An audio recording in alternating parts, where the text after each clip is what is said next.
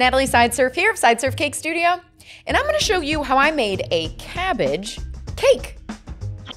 I started out by coloring some fondant with purple food color, and it's the perfect cabbage purple.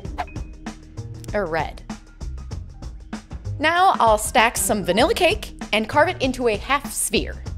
While I'm doing that, have you guys had a look at my merch lately? We have some new designs, and I just added kid sizes. So head over to shop.sideserfcakes.com to get some. So now that the cake is carved, I'm gonna cover the outside in some green buttercream.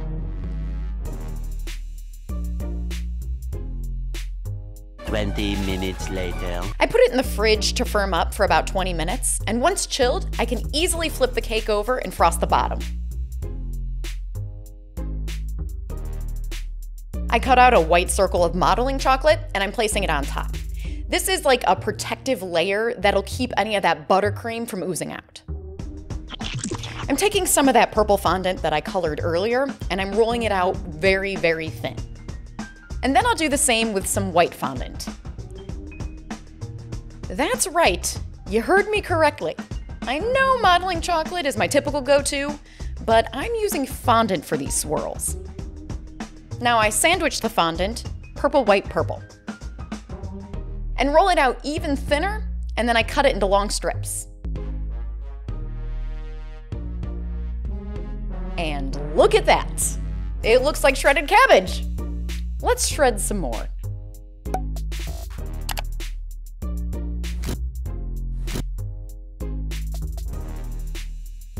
Now I take the cake back out of the fridge and I start applying the strips to the cake. This is fun. The shape and the swirl of each strip is totally random, so I don't have to think about it too much while I place them on.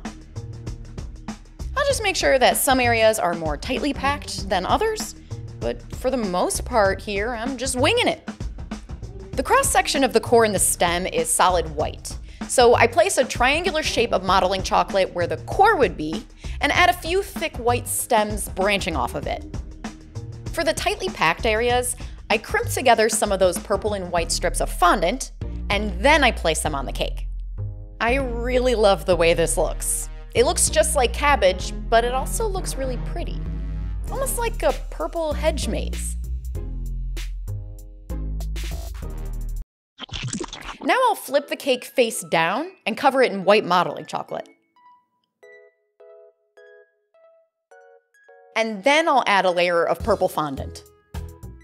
So basically, the white chocolate is kind of like a pair of Spanx for this cake. it's like keeping everything nice and tightly in place. And then the purple fondant is like the pretty dress that goes over top. then I flip the cake over one last time, and I sculpt some leaf texture into that fondant.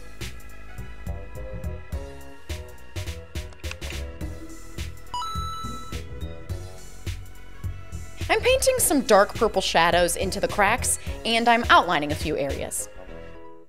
Adding that dark purple helps to give the cake more dimension.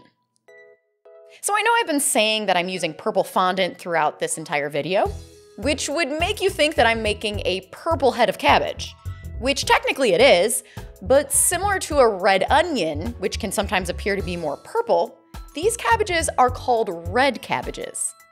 And that's because the redness of the cabbage is affected by the pH in the soil that it grows in.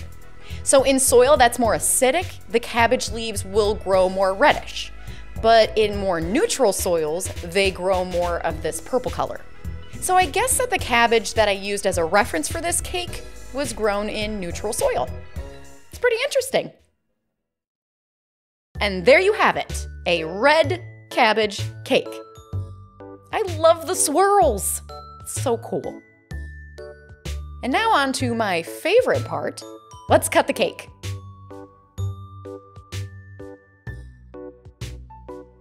If you like this video, please like this video below and subscribe to this channel right now because I post a new cake every week.